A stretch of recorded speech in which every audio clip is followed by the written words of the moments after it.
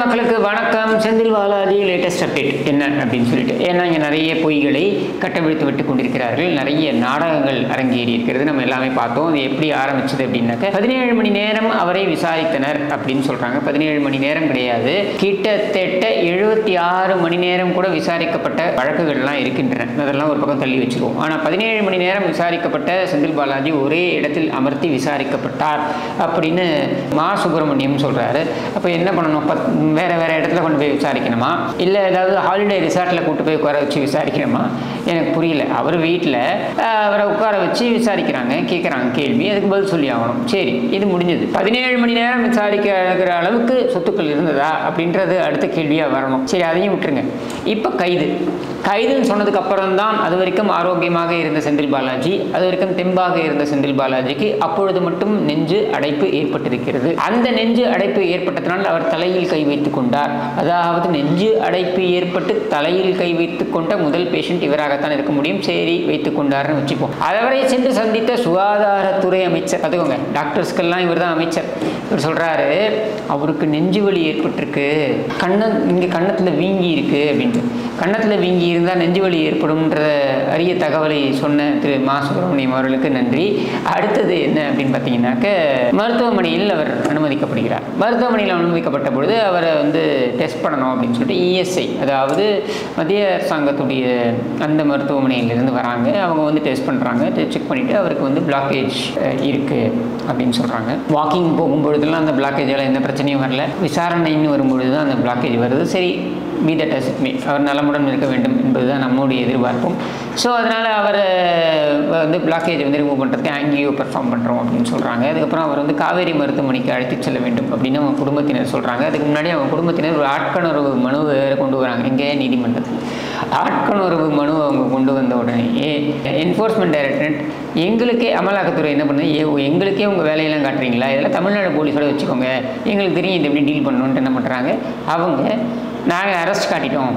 இப்போ நீங்கள் மெஜிஸ்ட்ரேட் வந்து ரிமாண்ட் பண்ணோம் அப்படின்ட்டு அவங்க மெஜிஸ்ட்ரேட்டுக்கிட்ட போய் நேற்று நேற்று இரவே அவங்க மெஜிஸ்ட்ரேட்டுக்கிட்ட கொடுத்துட்டாங்க. அதாவது அவங்களுடைய அரெஸ்ட் டீட்டெயில்ஸை கொடுத்துருவாங்க மெஜிஸ்ட்ரேட்டுக்கிட்ட மெஜிஸ்ட்ரேட் வந்து அக்யூஸ்ட்டை வந்து கூட்டு வந்து ப்ரொடியூஸ் பண்ண சொல்லுவாங்க.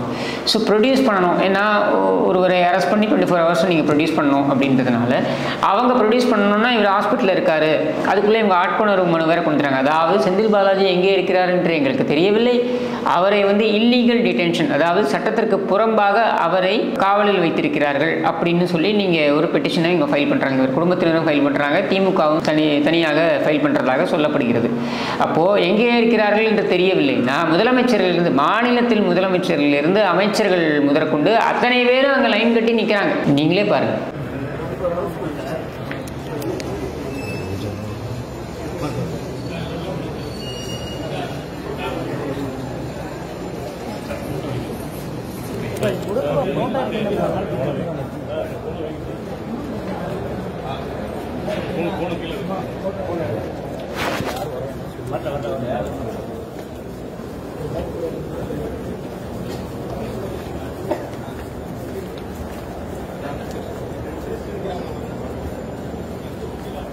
அத்தனை பேரும் அங்கே லைன் கட்டி நிற்கிறாங்க ஆனால் இவர் வந்து சட்டத்திற்கு புறம்பாக இவர் வந்து காவலில் இருக்கிறார். இவர் எங்கே இருக்கிறார் என்று தெரியவில்லை என்று ஆட்கொணர்வு மனு அதாவது ஹிபிஸ் கார்பஸ் பெட்டிஷன் ஃபைல் பண்ணுறாங்க இவங்க ஒய்ஃபுக்கு செந்தில் பாலாஜியை சந்திப்பதற்கு அனுமதியும் வழங்கப்பட்டிருக்கிறது. ஆனால் எல்லோரும் வந்து சந்தித்து போக முடியாது. இதுக்கு நடுவில் அந்த மருத்துவமனையில் பார்த்தீங்கன்னாக்கா இந்த எம்எல்ஏக்கள் மினிஸ்டர்ஸ்லாம் வந்து அங்கே கூட்டம் போடுறதுனால அங்கே இருக்கக்கூடிய பல பேஷண்ட்டுகள் ஏன்னா இது வந்து ஓமந்தூரார் மருத்துவமனை என்பது ஏழை எளியவர்களுக்கான மருத்துவமனை அப்படின்ற நிலையில் அங்கே இருக்கக்கூடிய அதாவது அரசு மருத்துவமனை அப்படின்ற நிலையில் அங்கே இருக்கக்கூடிய மற்ற பேஷண்ட்களை கவனிப்பதற்கு கூட டாக்டர்ஸ் இல்லாத ஒரு நிலை ஏற்படுகிறது. டாக்டர்ஸ் இல்லாத இவரை பார்த்துப்பதற்கும் இவரை வருவ இவரை சந்திக்க வருபவர்களை பார்த்துக் கொள்வதற்கும் வந்து விட்டார்கள் அப்படின்னு சொல்லிட்டு.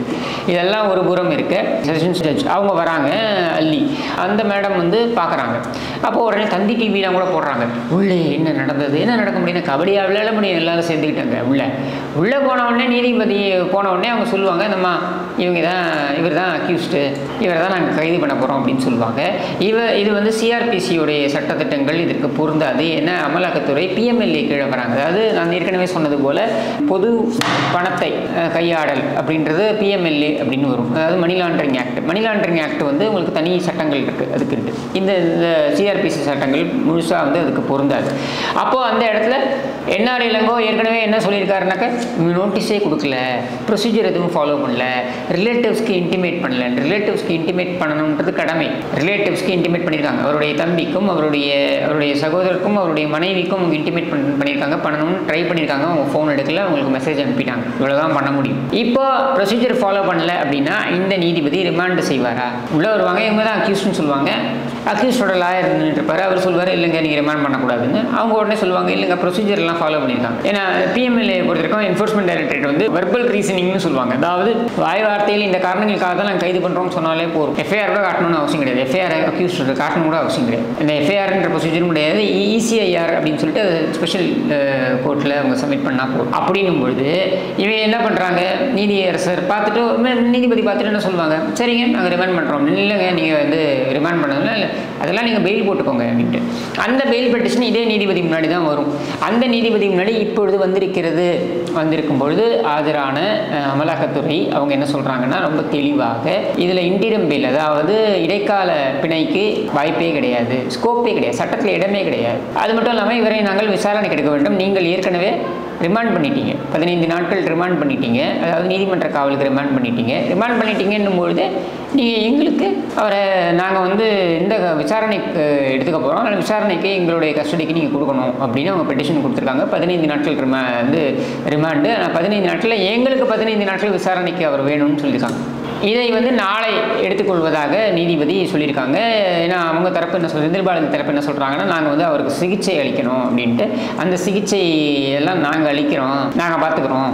அவரை நல்லா பார்த்து உங்களை விட நல்லாவே நாங்கள் பார்த்துப்போம் நீங்கள் கவலைப்படாதீங்க அப்படின்னு அமலாக துறை தரப்பு சொல்லிட்டாங்க. இப்போ நம்முடைய கேள்வி மா சுப்பிரமணியம்லேருந்து ஆரம்பித்து ஆர்எஸ் பாரதி என்று எல்லோரும் சொல்லி வந்தது இன்க்ளூடிங் முதலமைச்சர். அதாவது அவருக்கு டார்ச்சர் கொடுத்ததுனால தான் அவருக்கு நெஞ்சுவலி வந்தது என்றால் நீதிபதி ஒருவரை ரிமாண்ட் பண்ணுவதற்கு முன்ன இப்போ என்ன ரிமாண்ட் பண்ண போன கூட்டு போனாங்க நீதிபதி கேட்பாங்க. ஏன் உங்களை ஏதாவது அவங்க டார்ச்சர் பண்ணாங்களா? போலீஸ் ஏதாவது உங்களை உங்களை ஏதாவது டார்ச்சர் பண்ணாங்களான்ட்டு. இல்லை என்ன நான் சொல்வேன் ஏன்னா டார்ச்சர் பண்ணல. கூட்டு போய் வண்டியில் உட்கார வச்சிருப்பாங்க அங்கே இங்கே சுற்றி இருப்பாங்க. ப்ரொசீஜர் ஃபாலோ பண்ணியிருக்க மாட்டாங்க அரெஸ்ட் ப்ரொசீஜர் அதை நம்ம சொல்லலாம் நீதிபதிட்ட ஆனால் பொய் சொல்லக்கூடாது. நீதி இல்லை இல்லை அவங்க எங்களை அடிச்சிட்டாங்க அப்படின்லாம் நம்ம பொய் சொல்லக்கூடாது. நான் சொல்ல மாட்டேன். செந்தில் பாலாஜியும் அப்படி சொல்லலை. ஓரளவுக்கு நேர்மையாக இருந்திருக்காரு போல இருக்கு. ஏன்னா உண்மையாக அவர் யாரும் டார்ச்சர் பண்ணலை அப்படின்றது தான் இங்கே. ஸோ நீதிபதி ரிமாண்ட் பண்ணிட்டாங்க அப்படின்னாலே அங்கே எந்த டார்ச்சரும் நடக்கலைன்னு ஊர்ஜிதமாக இருக்கும். இல்லைன்னா அது பதிவாக இருக்கும் இல்லை நீங்கள் பதிவு பண்ணுங்கள் நீ இந்த மாதிரி அதிகாரிகள் வந்து அமலாக்கத்துறை அதிகாரிகள் என்னை டார்ச்சர் பண்ணாங்க அப்படின்னு பதிவு பண்ணுங்கன்னு பதிவாக இருக்கும் பதிவாகலையே. அப்போ இது பொய்ன்னு ஆகுதா அமைச்சர்களே புழுகுகிறார்கள். முதல்ல என்ன சொன்னாங்க? உதயநிதி வந்து என்ன சொன்னார்? அவர் வந்து நல்லா தான் இருக்கார் அப்படின்ட்டு. சேகர் பாபு என்ன சொன்னார்? இல்லை அவர் வந்து நான் மூணு நாலு வாட்டி கூப்பிட்டேன். செந்தில் பாலாஜி செந்தில் பாலாஜி அப்படின்னு கூப்பிட்டேன். அவர் ஆனால் கண்மொழிக்கவே இல்லை அப்படின்ட்டு அவர் எப்படி முழிப்பார்? நீ ஏதோ அந்த வாரம் கலெக்ஷன் என்ன ஆச்சுன்னு கேட்கறதுக்கு வந்து வந்திருக்கியோன்னு அவர் நினச்சிருக்கலாம். முழிக்காமல் இருந்திருக்கலாம். அது வேற விஷயம். அதே சொல்லி அரை மணி நேரத்துலலாம் பார்த்தீங்கன்னாக்கா செந்தில் பாலாஜி முதலமைச்சர் முதற்கொண்டு அத்தனை அமைச்சர்களும் சந்திக்கிறார்கள். அந்த படங்களும் வெளிவருகின்றன. அதில் பார்த்தீங்கன்னா ட்ரிப்ஸ் எல்லாம் எதுவும் ஏற்றலை ஐசியூவில் இருக்கா? ட்ரிப்ஸ் ஏற்றலை ஆக்சிஜன் மாஸ்க் இல்லை. வெறும் இந்த இந்த கிளினிக் மாஸ்க் தான் இருக்குது இது எதுவுமே இல்லாமல் ஐசியூவில் ஒருத்தர் இருக்கார். அதுவும் அவர் வந்து நெஞ்சு வலியில் பிளாக்கேஜ்லாம் இருக்குது அவருக்கு உடனேயே வந்து பைபாஸ் சர்ஜரி பண்ணியாக வேண்டும். அப்படின்ற நிலையில் இருக்கக்கூடியவர் முதலமைச்சரை பார்த்த உடனே எழுந்து உட்காந்து பேசுகிறார் அப்படின்றதெல்லாம் வந்து ஆச்சரியமான மெடிக்கல் மிராக்கிள்னு சொல்லுவாங்களே அது மாதிரி மெடிக்கல் மிராக்கிள் சரி இந்த மிராக்கிள்லாம் கடந்து மேஜிஸ்ட்ரேட் உங்களை ரிமாண்ட் பண்ணிட்டாரு. மேஜிஸ்ட்ரேட் ரிமாண்ட் பண்ணிட்டாங்கன்னா ரொம்ப தெளிவாக உங்களை யாரும் தாக்கவில்லை. அப்போ நீங்கள் சொன்னதெல்லாம் பொய். இதை மீடியாக்கள் கேரி செய்ததும் யாராவது ஒரு மீடியா சொன்னாங்களா? மேஜிஸ்ட்ரேட் ரிமாண்ட் பண்ணிட்டாங்கன்னா கேட்பாங்க. உங்களை தாக்கினாங்களா? உங்களுக்கு ஏதாவது காயம் ஏற்பட்டிருக்கா? உங்களுக்கு ஏதாவது பிரச்சனை இருக்கா? அப்படின்னு கேட்டுட்டு தான் ரிமாண்ட் பண்ணுவாங்க.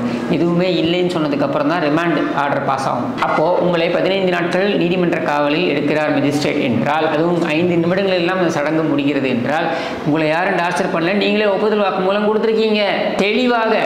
ஏன் புழுகுகிறீர்கள் அப்போ? ஏன் வந்து நீங்கள் வந்து தாக்கப்பட்டிருக்கீங்கன்னு பொய் சொன்னீங்க? இதுதான் திமுக. இதை மக்கள் புரிந்து கொள்ள வேண்டும்.